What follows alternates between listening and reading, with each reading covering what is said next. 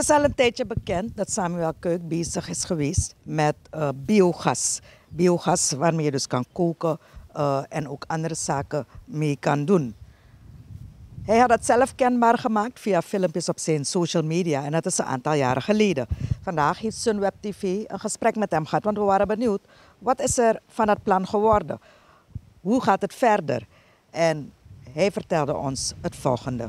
Meneer Keuk, we zien vaker filmpjes van u op uh, social media. Best hele inventieve zaken waarmee u bezig bent. En ik weet nog, als ik het me goed kan herinneren, begon het allemaal met slimgas, ja. slimgas, ja, slim. waarbij u uit fecaliën gas produceerde. Ja. Dat, was, dat is nu inmiddels hoeveel jaren geleden? Uh, dat is in 2018 begonnen. 2018, we zijn nu in 2023, dus dat is vier jaren. Wat is er vier jaren later van slimgas geworden? Um, ik was, ik was, om goed te zijn, twee maanden terug was ik in een exit meeting met de Inter-American Development Bank. En daar vanuit de IDB Bank was er een project wat we noemen. In 2019 hadden ze een project gelanceerd tijdens de regering Bouterse Adin wat heet IFS. IFS staat voor Innovation Firms Suriname. En ik heb mijn project gepresenteerd. Ik heb, me, ik heb meegedaan aan die call for proposal toen de tijd. Het is geaccepteerd. Ik heb een pitch gedaan. En mijn project was goed bevonden voor een bedrag van 97.000 US. En toen vond die Amerikanen, de IDB vond dat er leven in dit ding moest komen. Dus ze hebben me de gelegenheid gegeven. Ik heb het gedaan. Het is succesvol geweest. En er was geld over. En ik heb nog een keertje 55.000 dollar gehad. En dat wil ik doen om Surinamers, bewust heeft IDB dat gedaan, om mensen te tonen dat, je, dat landen, wij als derde wereldland, als groeiend, met een potentiële groei, we hebben innovatie nodig. Innovatie. We, doen, we moeten doen aan innovatie. En je hebt mensen nodig die weten waar ze naartoe kunnen gaan met innovatie. En dat heb ik getoond met de IDB. Dat, dat nog met de lantimony, maar donormiddelen. Dat project heb ik succesvol toen gedraaid onder, onder minister Stefan Chang. Is niet de minister zijn geld, toen IDB. Ja. En nu, dat project IFS heeft een exit gehad. Dat betekent het project is gecompleteerd en men gaat het formeel afsluiten. We waren twee dagen in Marriott. En op die exit meeting was ik aan het woord gekomen als een van de innovators. En ik heb gevraagd om een kind, ik wil een kind van me afstaan ter adoptie. En je weet al wie dat kind is. Slim guess. Omdat er geen schot meer is. Ik had die initiële fase heb ik doorlopen. Ja. Dus je hebt die pilotfase, de initiële fase. Dan ga je nu stijgen, je gaat naar commerciële fase. Ik was precies daar middenin. En van, als je com commerciële fase hebt voltooid, ga je in je... En, um, na die commerciële fase ga je in je, in je wat ze industriële fase. Then you go big. Ga je dat ding echt abroad doen. Dus Suriname, buitenland. Import, export. Yeah. Dus lokaal, sorry, en export. Yeah. Jammer genoeg heb ik het niet gehaald. Hoezo? Waarom niet? Want het was toch, iedereen was toch enthousiast? Ik heb het niet gehaald puur om politieke redenen. Omdat mensen zeggen me, Samuel Kuik, meneer Slemmy, meneer Slemmy, inom doe politiek. Wat men niet begrijpt is dat wanneer je innovaties doet, met name hernieuwbare energie, je komt gewoon niet onderuit om de politiek ook te beïnvloeden. En once je ze beïnvloed en ze zien dat ze, dat ze hun doel met jou niet gaan bereiken, dan krijg je dat die mannen niets anders doen dan gewoon een streep trekken door je project heen. En waarom ik zeg dat heeft, dat heeft met name deze regering. Dat is mij overkomen met de regering Chandrika Prasad Santo. Ik, ik val niemand aan, maar ik zeg gewoon die dingen eerlijk. Ik ben een eerlijk mens. Ik wil eerlijk sterven. Ja. En waarom ik het zeg, mevrouw Geel. De ex-minister Stefan Sang had het voor me geregeld. We zijn op een boerderij, dus ja, ben je vrij, moeilijk. Oké. Okay.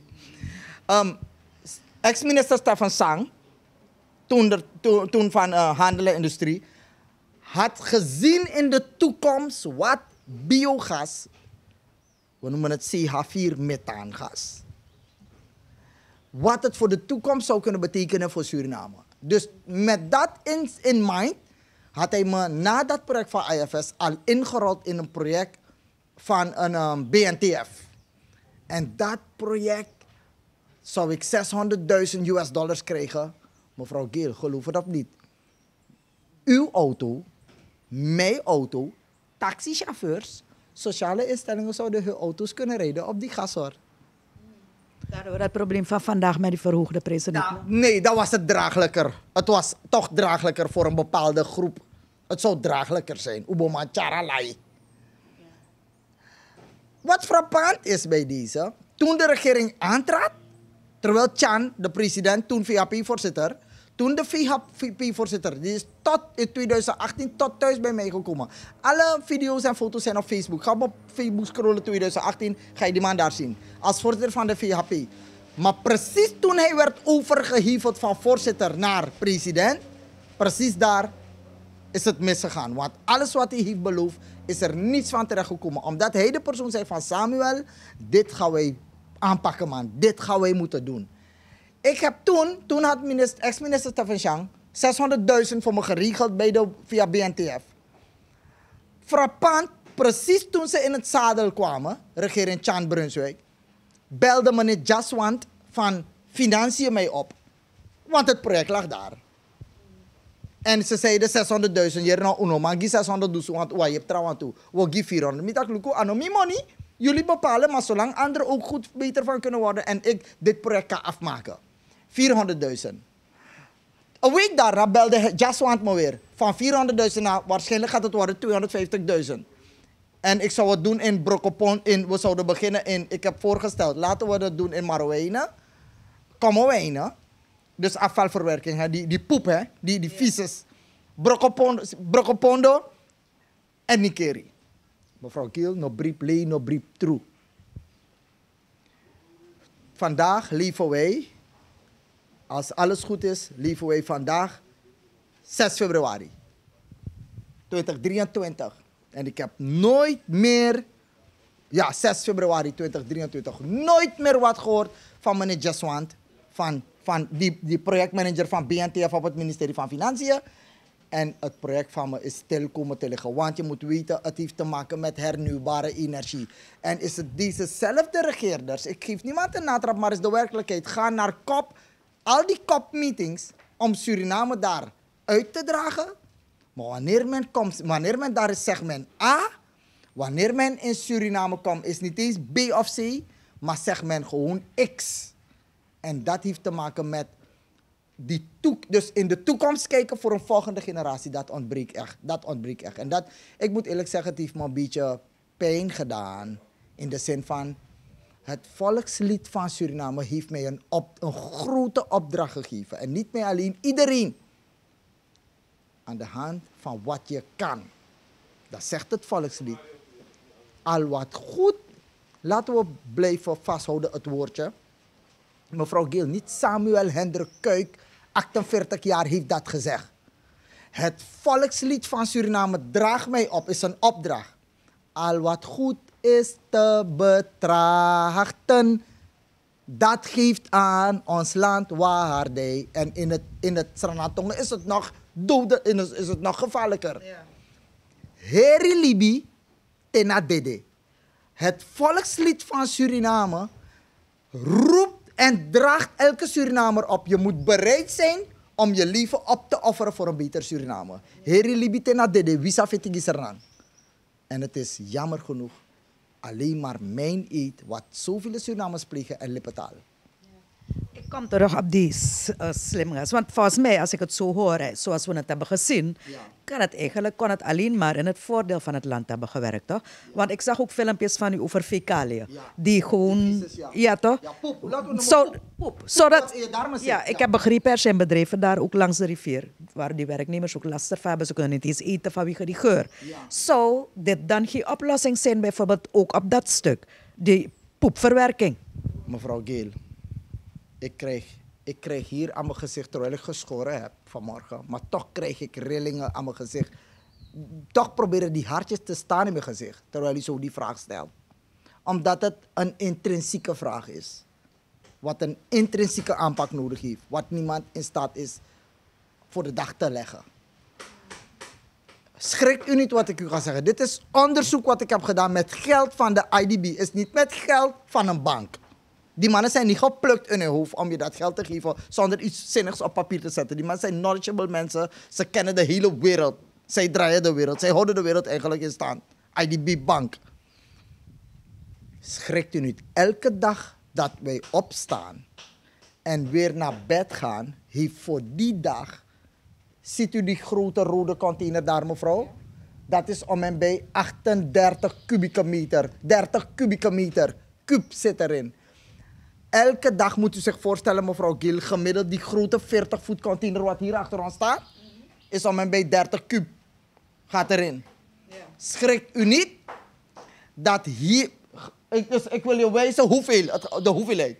Gemiddeld van deze containers, 6 tot 8 vol ervan poep, fecaliën met dodelijke bacteriën als dysenterie en E. coli. Wordt gedumpt al tig jaren. Volgens mij ben ik geboren bij Dompinkba. En, en, en ik, ik, ga, ik, ik ben nu, ik leun tegen de 50 aan. Ipsami. Ik kan je wakker. Ik kan je wakker. Maar is er volg, ja, maar precies. Dus nu wil ik zeggen, dit is een serieus probleem. En wat me ook een beetje pijn doet. Terwijl dezezelfde eh, voorzitter van VAP, toen nu president, weet als donderslag bij heldere hemel weet van no, aboidisi een boydis kan doen sani. Weet je wat ze hebben gedaan? Ze hebben via Ilaco, het bedrijf dat zich bezighoudt met vuilverwerking, hebben ze via OE een tender gedaan met een bedrijf in Europa. En weet je wat het bedrijf doet? Ze komen uit het buitenland tot hier op dit erf hier waar, waar, waar u nu zit. Om met mij te praten van luister nou. Jij kan het doen, je doet het goed. Waarom heeft de overheid jou niet gevraagd? Je ziet dat die belangen groot zijn. En we dumpen nu gemiddeld per dag 200 tot 300 kub aan poep in de Suriname rivier. Van waar we Kandratiki, Bambang, Wit Witty, Kuma Kuma en noem maar op. Al die vissen consumeren. En die hele ecologie van de Suriname rivier, benedenwaarts, naar de zee toe, is gewoon jaren verstoord. Omdat die beesten hebben een soort resistentie, die vissen gemaakt. Tegen het gaat niet om die fecaliën. Mevrouw Geel, hier praat over een serieus probleem hoor. Het gaat om die, het gaat niet om die fecaliën, die vises, die poep. Het gaat om die chemicaliën die we gebruiken in onze toilet. En dat praten we over een paar honderd ton dat elke dag wordt geloosd in de Suriname rivier. Mevrouw dit is heel erg. Eigenlijk is die atoombom al ontploft. Maar oké, met alle respect voor meneer Chana Hung van Milieu. Hij leeft in zijn eigen denkwijze, eigen wereld. Ik, ondergetekende, die die ik niet alle kennis, maar toch wel heel veel kennis van biotechnologie heb. Dat is mijn specialiteit, biotechnologie. Ik leef niet in die wereld, in die tunnel van meneer Chona Hung. Van deze beleidsmakers. Die, is die, die leven in een kleine tunnel. Terwijl de wereld groot is. Er is een grote wereld daarbuiten. En hier zit u achter mij, die grote tankstraat, kunt u ze in beeld brengen. Als we 100 van deze tanks hebben, hoeft die poep niet meer in de Suriname vrienden. Maar ja, precies. Ik heb gezegd, eh, ik ga het zo plat uitdrukken. Ik heb gezegd, Chan, gim a poepen. Gimeng, gimeng. kun je je voorstellen, mevrouw Geel, dat ik zit te bedelen om fecaliën, dat mensen elke dag uit hun lichaam moeten halen. Ik zit te bedelen. Ik heb ervoor gebedeld tijdens de regering Bouterse Adin. En nu bedel ik ook ervoor tijdens de regering Chandrika Persan Satukibren. De matak no uno gamang. Uno gamang. Omdat ze, ze kunnen niet ervan verdienen. Iedereen wil verdienen, mangi. Is een verdien, is een chukuziekte, is een, is een... Sorry dat ik het moet zeggen, want mijn moeder is eraan overleden, maar is een kankergezwel. Zo diep ingeworteld dat je eigenlijk bijna... Eigenlijk heeft mevrouw Silas gezegd, is bijna niet meer uit te roeien in Suriname. Wat zou kunnen maken even los van alle politiek, alle romslompen omheen. Want wij, het plan wordt gehoord door de samenleving. De samenleving zit er wel wat in, anders zat ik nu niet hier.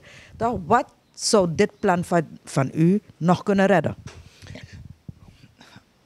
een intrinsieke beslissing vanuit beleidsmakers die vanuit het volkslied van Suriname Suriname en haar Surinamers voorop stellen om te zeggen: nee, dit gaan we direct doen.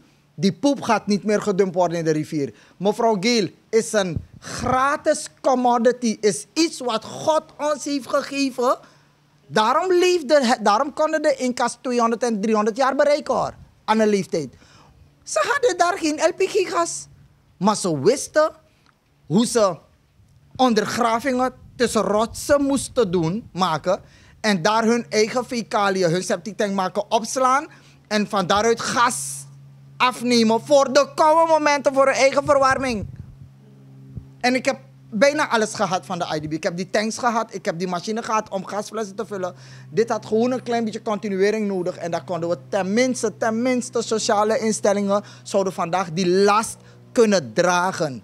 De overheid moet een keertje ophouden dat wanneer ze niet in staat, en dat heeft te maken met patronage, nepotisme, dat ze niet kunnen verdienen, no man verdient na amang. Ik moet, mevrouw Giel, ik moet u eerlijk zeggen, we hoeven geen namen te noemen, maar als u wil, mag ik, wil ik ze ook noemen. Als u zegt, no, noem die namen, dan ga ik ze noemen. Maar ik ben gebeld door zes VHP-toppers, waarvan drie, vijf VHP-toppers, waarvan drie hoofdbestuursleden en twee parlementariërs.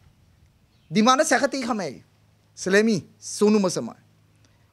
Hier nou, u doe een project voor jou. Un, unu, dus zij. U mek chan, doe een project voor jou. Maar, om mij sera gas, te sera gas, zorg dat aan de tumsi moro bunkopu, maar zorg dat u mek wa money toe. Want isabu u partijverkiezing, dan de sansa we doen. Dus je ziet dat iets totaal fout is in de gedachte om Suriname naar de next level te brengen. Iedereen is gestoeid op een chuku bribery. En dat is wat dit land gewoon is. Is funest voor een volgende generatie. Is funest voor mij, voor jou, jouw kinderen, jouw kleinkinderen, jouw achterkleinkinderen, voor mijn dochter, haar kinderen, haar. Is funest voor het land. Mensen moeten. We mogen eerlijk verdienen, we mogen. Maar no, amotro miljonair. En toen, toen, de tijd, toen meneer Chan thuis bij me kwam, heeft hij gezegd, je een miljonair. Maar nu hij het heeft gezien, in de werkelijkheid, dat no, een miljonair, unu otanabaka. Dat ben je niet goed, dat kan je het niet doen. Dus, nou, nu moest me even. Want ik weet niet hoe ik hiermee door moet gaan. Ik denk, ik, ik leun tegen de 50 aan. En volgens mij ik zie dit, ik zie dit met biogas, biogas, biogas. Biogas is natuurgas, is gas uit, ontrokken uit afval. Je, thuis, aardappelschilletjes, uierschilletjes, oud brood, oud melk, oud rijst. Alles wat organisch is, dat natuurlijk afbreekbaar is, daaruit kan je biogas, methaangas, CH4-gas genereren. CH4-gas, methaangas is de grootste boosdoener voor die heeft gezorgd voor de beschadiging van de ozonlaag. Waarom? Het stijgt, het gaat zo hoog mogelijk. Waarom? CH4-gas, methaangas stijgt omdat het lichter is dan lucht. It's lighter than air. En het stijgt en het penetreert de hele ozonlaag. En, en daar heb je deze mensen, regering op regeringen, die een grote mond met de mond beleiden op COP19. En al deze geweldige meetings, maar als, als als ze het woord bij de daad moeten voegen, dan moet je gelineerd zijn aan die partijpolitiek. En dat is zo, in het Engels segment, dit woord is, is, is ruimer. This is very destructive. Is destructive, is destructief. Voor een land, voor de toekomst van een land. En ik moet eerlijk zeggen, met een beetje pijn in mijn hart. Ik ben niet ongelovig, ik ben zeer gelovig, vandaar dat ik op dit punt ook ben gekomen. Maar ik sta wel met beide benen op de grond. En met die benen op de grond waar ik nu sta, zeg ik dat ik bang ben dat dit geen verdere gestalte zal krijgen. Misschien, misschien bij de komende regering, een komende regering, maar bij deze niet. Is een no-go. U hoorde de heer Samuel Kuik over slimga, slimgas, uh, biogas, uh, welke hij dus geproduceerd heeft. Een plan dat hij wilde trekken. En hij had gehoopt dat het dus eigenlijk echt zou worden uitgevoerd op grote schaal, zodat de Surinaamse samenleving, dat Suriname er uiteindelijk profijt van kon hebben.